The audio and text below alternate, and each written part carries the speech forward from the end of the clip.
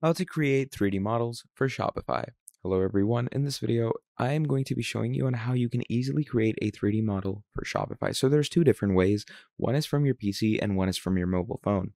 So the PC way is a bit of a difficult way if you're into, you know, designing and all and if you're good at using 3D designers like uh, Maya, Blender, Photoshop, 3ds Max, Substance, ZBrush. These are different softwares through which you can create augmented reality, virtual reality, product rendering, 3D stuff.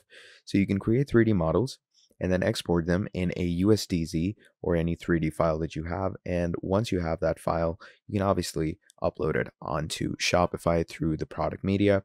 So this is obviously the PC way. So you're going to create, you know, proper triangulated models and you're going to make sure that they're spinnable, they have shadow, they have depth. So that is obviously the more difficult way. The easier way is through your mobile phones. So what you're going to need is an Apple iPhone with the latest model, okay, iOS 17 or above. And the thing is that when you have iOS 17 or above, you're going to download the Shopify app into your phone. Once you download the Shopify app, what you're going to be doing is you are going to go to product overview page Click on existing product or touch plus to add a new product.